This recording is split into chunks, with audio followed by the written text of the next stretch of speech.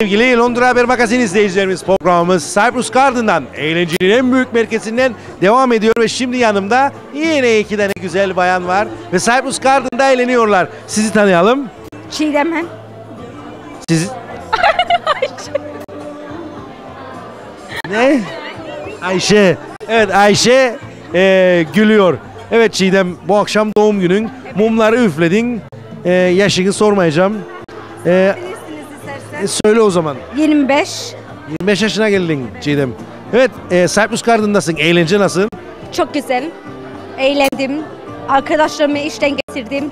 He- hepsi çok eğlendi. Evet, bundan sonraki doğum günü olan izleyicilerimize kameraya bakarak neler söylemek isten?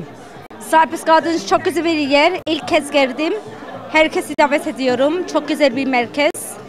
Ortam çok güzel. Uygun fiyatlı. Evet eee Kıbrıs'ın neresindensin? Em, dedem tarafı Lefkoşalı.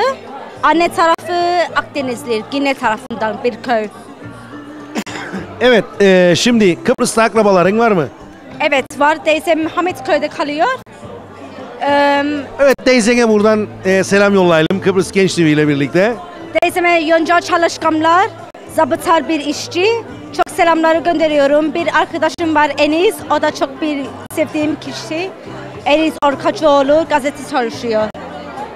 Evet sevgili Londra Haber Magazin izleyicilerimiz programımız Cyprus Garden'dan tam gaz devam ediyor ve sırada kim var? Londra sahnelerinin ünlü şovmeni Kerem var.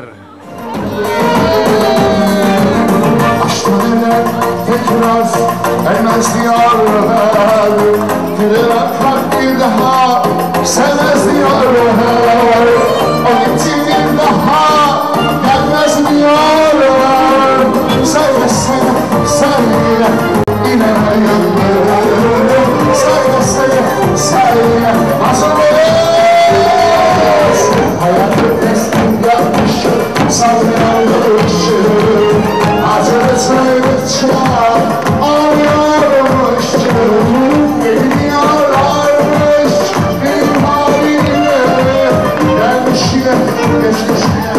sayılmıştı Dervişi kesmişine hey hey hey Herkes yanmışım sallanmıştı Hazreti Yüce ağlıyormuştu Manyak görmemiş İbrahim'e Dervişine geçmişine sayılmıştı Dervişine